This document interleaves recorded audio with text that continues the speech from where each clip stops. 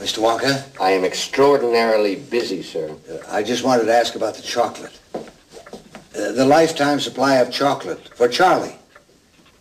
When does he get it? He doesn't. Why not? Because he broke the rules. What rules? We didn't see any rules, did we, Charlie? Wrong, sir. Wrong. Under Section 37B of the contract signed by him, it states quite clearly that all offers shall become null and void if, and you can read it for yourself in this photostatic copy, I, the undersigned, shall forfeit all rights, privileges, and licenses herein and herein contained, etc., etc., fax mentis incendium gloria culpum, etc., etc., memo bis punitor delicatum. It's all there, black and white, clear as crystal.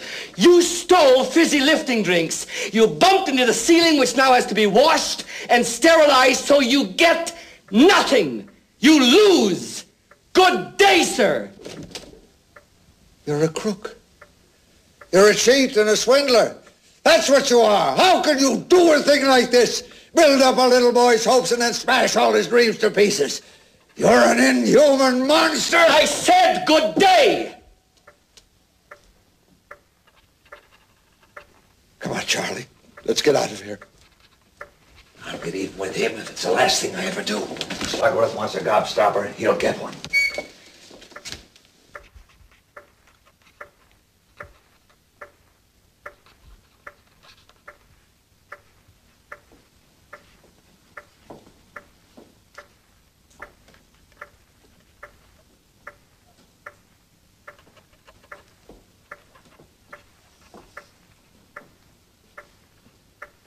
Mr. Wonka?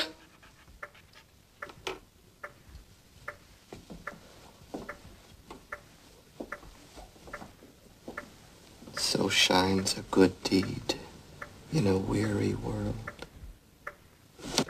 Charlie. My boy. You won! You did it! You did it! I knew you would! I just knew you would! Oh, Charlie. Forgive me for putting you through this. Please, forgive me. Come in, Mr. Wilkinson. Charlie, meet Mr. Wilkinson. Pleasure. Slugworth. No, no, that's not Slugworth. He works for me. For you? I had to test you, Charlie, and you passed the test. You won! You did it, Mr. Wonka. Congratulations. Get up, take a look.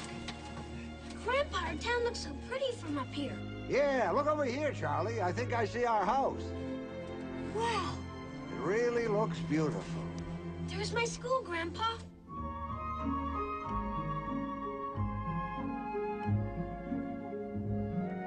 How did you like the chocolate factory, Charlie?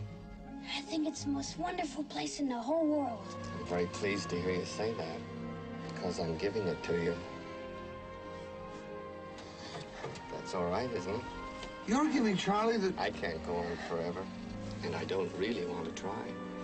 So who can I trust to run the factory when I leave and take care of the Oompa Loompas for me? Not a grown-up. A grown-up would want to do everything his own way, not mine. That's why I decided a long time ago that I had to find a child. A very honest, loving child to whom I can tell all my most precious candy-making secrets. And that's why you sent out the golden tickets. That's right. So the factory's yours, Charlie. You can move in immediately. And me? Absolutely. What happens to the, The rest? whole family. I want you to bring them all. But Charlie, don't forget what happened to the man who suddenly got everything he always wanted. What happened? He lived happily ever after.